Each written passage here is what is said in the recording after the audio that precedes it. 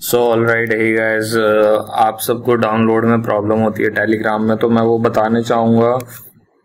अगर आपके लिंक नहीं खुलती है तो लिंक अगर नहीं खुलती, आपको टेलीग्राम में जाना है, यहाँ से ऐप खोलनी है टेलीग्राम ठीक है? और ये मेरा ग्रुप है जिसमें मैंने सारी पीएचडी डाल रखी है, और इसमें आप देख सकते हैं, चौदह सौ से भी ज़्यादा मेंबर्स हैं, यहाँ पे साढ़े चौदह सौ हो गए हैं, ठीक है? यहाँ आपको सबसे पहले जब आपकी ऐप खुलेगी तो ये सर्च बार दिख रहा होगा तो इस पर क्लिक करना है आपने और यहाँ मेरा नाम लिखना है सारवेंद्र। ठीक है? जब आप नाम लिख देंगे तो सबसे ऊपर मेरा चैनल आ जाएगा आप उसे क्लिक करेंगे तो ज्वाइन का और यहाँ नीचे ऑप्शन आएगा यहाँ ब्रॉडकास्ट जहाँ लिखा है और आप फिर ज्वाइन कर सकते हैं। सो so, स्टार्ट करते हैं हम ट्यूटोरियल में ये जस्ट एक्सप्लेनेटरी था। ऑल राइट है गाइस वेलकम है आप सबका मेरे ट्यूटोरियल में और आज जो मैं बात करूँगा वो है आ, मेरे जेली फ़िश ग्लो की। और आपने जैसे पहले देख लिया है मेरी वीडियो जो अभी आ, मैंने थोड़ी देर पहले डाली थी उसमें आप ग्रुप ज्वाइन करने के इश्यूज़ जो भी होते हैं आपको सॉर्ट आउट हो जाएँगे आप इजीली सॉर्ट आउट कर सकते हैं। और यहाँ अब मैं फ़ोटोज़ फ़ोटो फ़ोटोज़ नहीं है। फ़ोटो की डेप्थ में जाऊँगा और आपको सारी डिटेलिंग दिखाऊँगा कि मैंने कहाँ कहाँ वर्क कर रखा है कहाँ कहाँ नहीं कर रखा। सो so, सबसे पहली जो पॉइंट है वो है यहाँ पे आ, ये ग्लो वाली जगह जहाँ जेलीफिश है। जेलीफिश यहाँ दो पार्ट में रखी थी मैंने। सबसे पहला पार्ट है आउटर मोस्ट पार्ट जो ग्लो क्रिएट कर रहा है, और उसके पीछे टेंटिकल्स हैं। टेंटिकल्स नहीं थे इसमें, मैंने टेंटिकल्स डाले हैं, ठीक है? और यहाँ पे मैंने आई के अंदर जो लेंस पुट कर रखा है, आप देख सकते हैं, अगर मैं जूम इन करके दिखाऊँ, क्योंकि 480p पे शायद फ़ोन में व्यू हो रहा है आजकल तो थोड़ा डीप जूम करके दिखाना पड़ता है।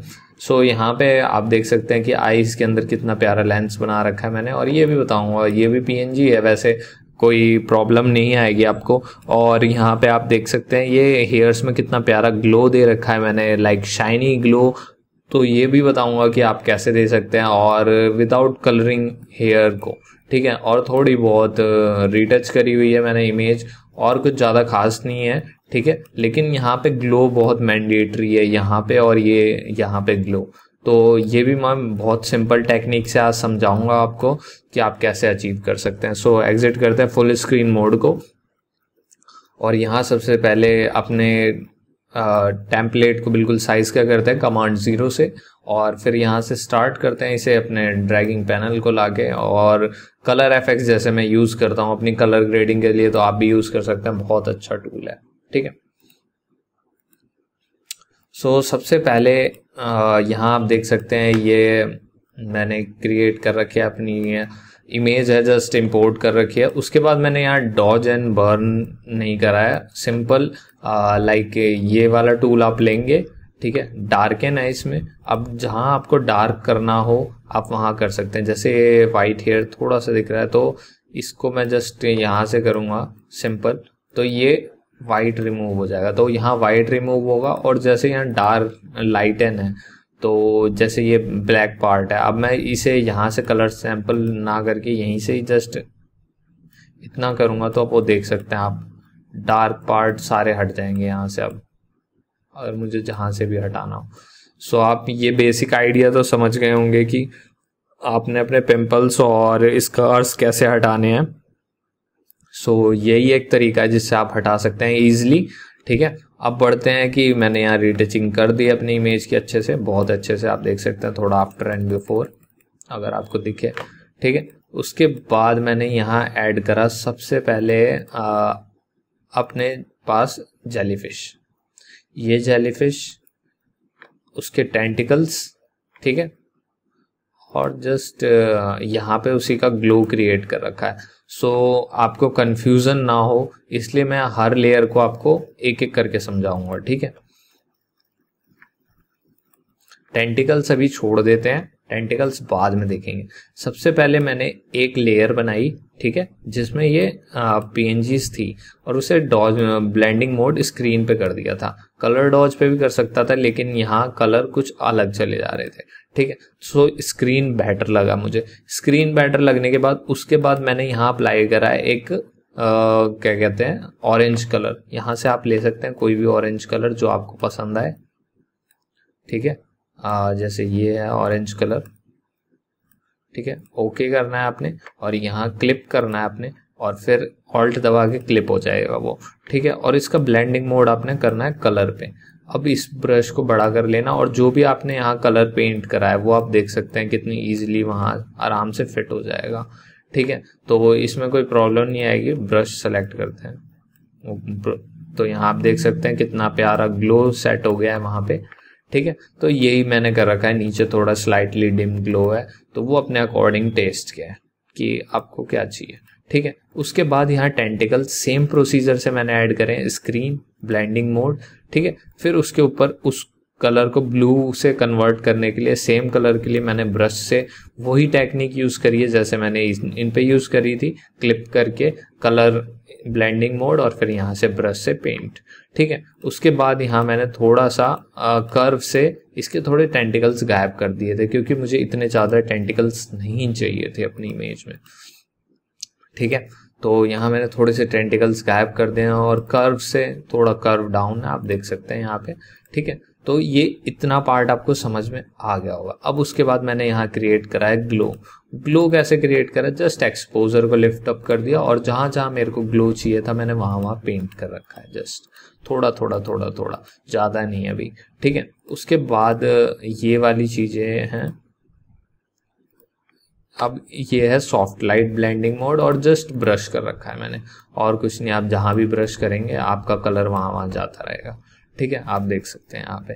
उसके बाद यहाँ पे मैंने थोड़ा सा बिल्कुल लो फ्लो कर दिया। वन पे आ जाए आप, ठीक है? और यहाँ डॉट डॉट क्लिक क्लिक ऐसे करके आपको यहाँ थोड़ा लाइक अपने एटमोसफेरिक टाइप से आप क्रिएट कर सकते हैं। थोड़ा कलर कि वहाँ से एमिशन हो रहा है। मैंने बस इतना ही करा था।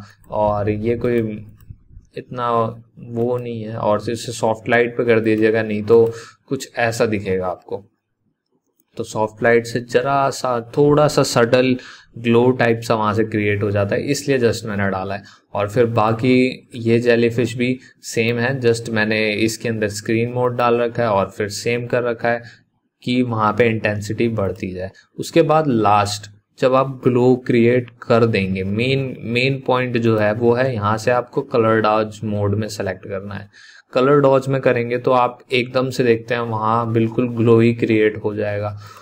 और फिर उसको यहाँ पे आपने कलर से वो कर देना है। तो आप देख सकते हैं यहाँ कितना प्यारा और बढ़िया ग्लो क्रिएट हुआ है एट द एंड में कलर डॉज की मदद से। तो कलर डॉज एक बहुत ही पावरफुल टूल है और कई लोग इसे अंडर एस्टिमेट करते हैं। सो मैंने यूज़ करा जस्ट तो आप देख सकते हैं ग्लो कितना प्यारा क्रिएट हुआ है। ठीक है? उसके बाद यहाँ पे आता हूँ मैं दूसरी लेयर पे। और यहाँ कुछ नहीं कर रखा ओवरले से मैंने ब्रश से थोड़े थोड़े जहाँ मेरे को लगता है कि हाँ यहाँ थोड़ा सा ब्लैक है तो मैं वहाँ वाइट पेंट कर देता हूँ जैसे ये, आप देख सकते हैं। तो लाइक काइंड ऑफ़ रीटचिंग ही समझो आप इसे थोड़ा सा लाइक फेस ग्लो करने के लिए होता है पॉप करने के लिए। जैसे आप देख सकते हैं मैंने पॉप कर रखा है।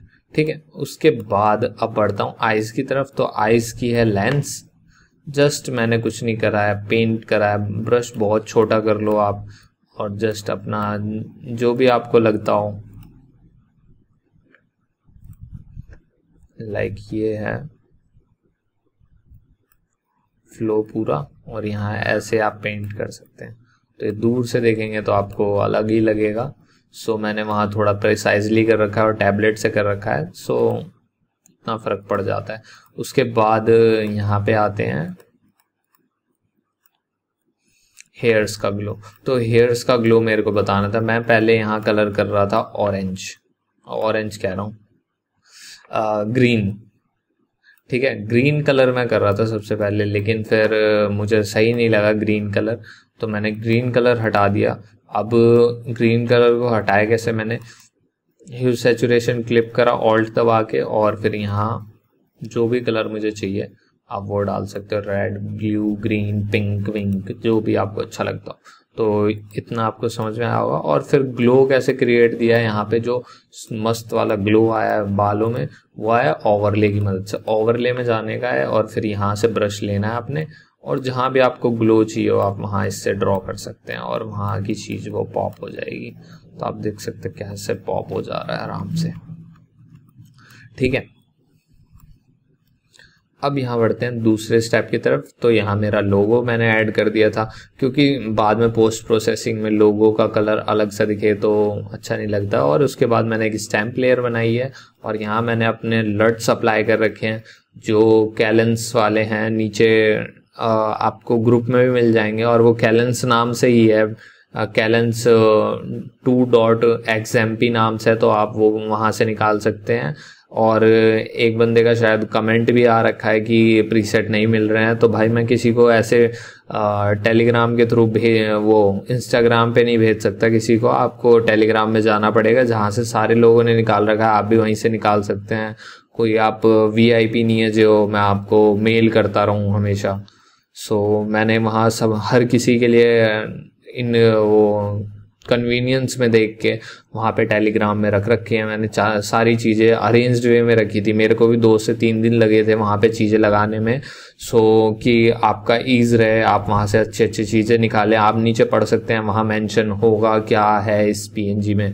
मैंने ऐसी फ्री में वहाँ जिप नहीं डाल रखी हैं जो आप सर्च भी नहीं करना चाहते हैं।